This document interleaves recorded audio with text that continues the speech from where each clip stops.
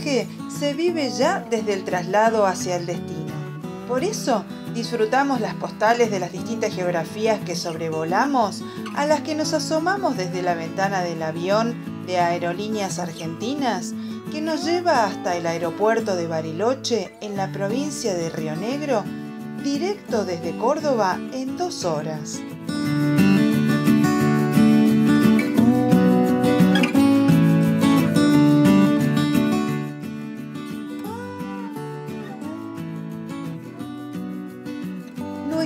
Alojamiento será de ensueño en el Hotel Villabeluno, un cinco estrellas que se parece a una villa italiana visto desde su portón de ingreso y la construcción de líneas elegantes con una fuente central a orillas del lago Nahuel Huapi en la península San Pedro.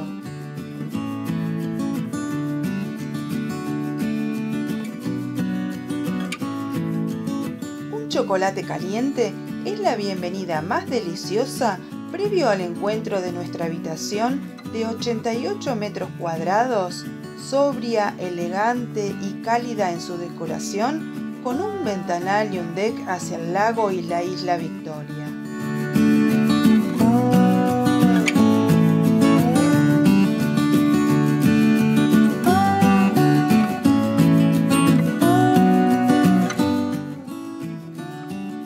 Recorrida por el hotel de 20 habitaciones es una exhibición de detalles pensados y cuidados. Aún en los espacios comunes, como cada sillón con una mantita y hasta el spa con sus vistas hacia la naturaleza virgen que incluye especies de árboles nativos. También la cava de vinos, la gastronomía gourmet y casera, con platos elaborados con verduras del vivero hidropónico propio y una torre para contemplar el lago.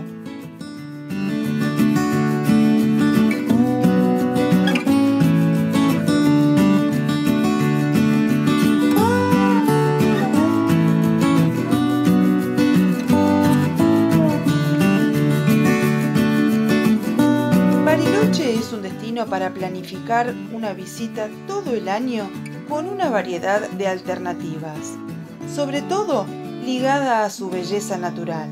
Así es que haremos un trekking por un bosque nativo de muy baja exigencia. Los pájaros que oímos pero no vemos, así como el aroma de la flora, acompañan la caminata por donde nos guía Carlos Peli de la agencia Wilderness Patagonia.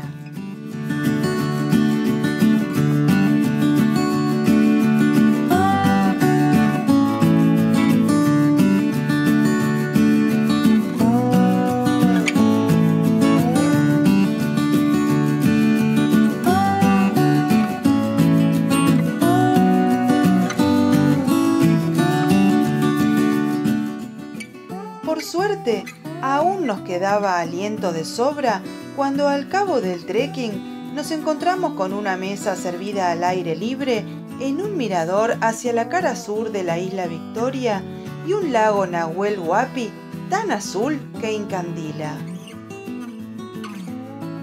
Con el Nahuel Huapi como marco y bajo los árboles nativos, damos cuenta de cervezas artesanales, sandwichitos de queso ahumado, pinchos de aves y trucha ahumada, y un postre de chocolate blanco y frutos rojos, entre tantas delicias regionales.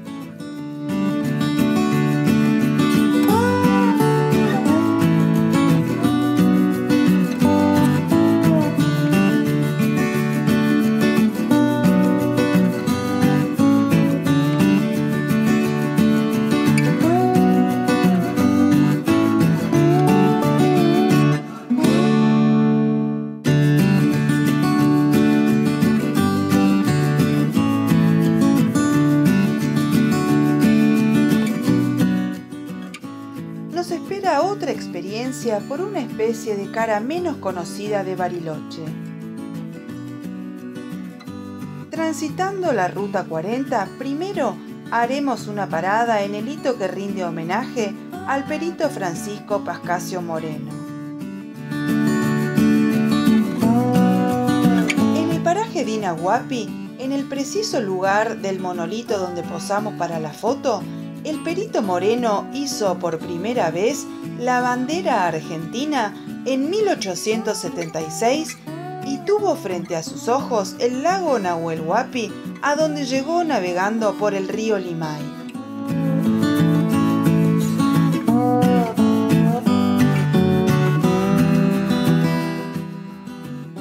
Seguimos viaje para hacer un alto en un mirador hacia el río Limay y formaciones geológicas a cada lado de la ruta hasta donde llegaban los glaciares hace unos 10.000 años.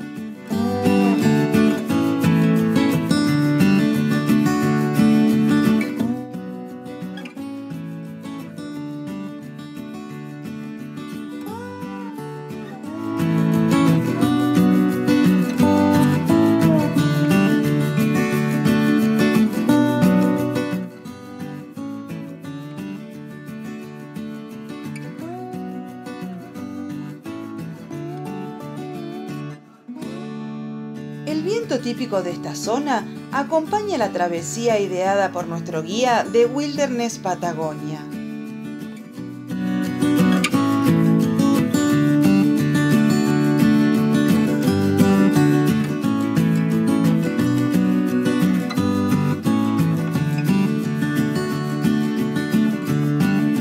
Llegamos hasta Villa Yanquín, un poblado frecuentado por pescadores de truchas tenemos que cruzar a pie por un puente que atraviesa el río Limay. Mientras, la camioneta lo hace sobre una balsa maroma, como se llama a este sistema manual.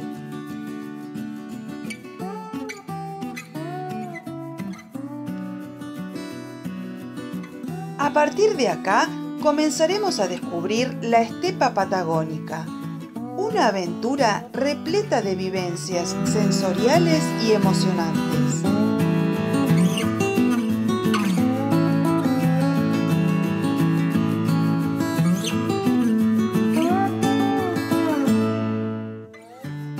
Jugamos a descubrir cóndores y los observamos orondos. El camino sinuoso por la huella en la montaña va cobrando altura y devolviendo paisajes que solo conocen de factores climáticos para darles forma desde hace miles y miles de años.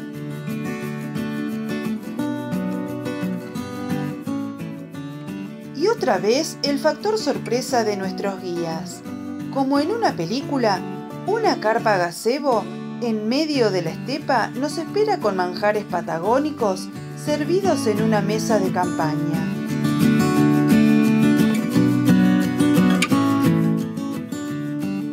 Tinto de la región que recuerda la travesía en moto del Che Guevara por estas tierras, quesos, mix de hojas verdes, pancitos, mayonesa de zanahoria, brownie con un café preparado al instante, ponen broche de oro a la experiencia en este sitio ubicado a 60 kilómetros de Bariloche y a 12 kilómetros de Villa Yanquín.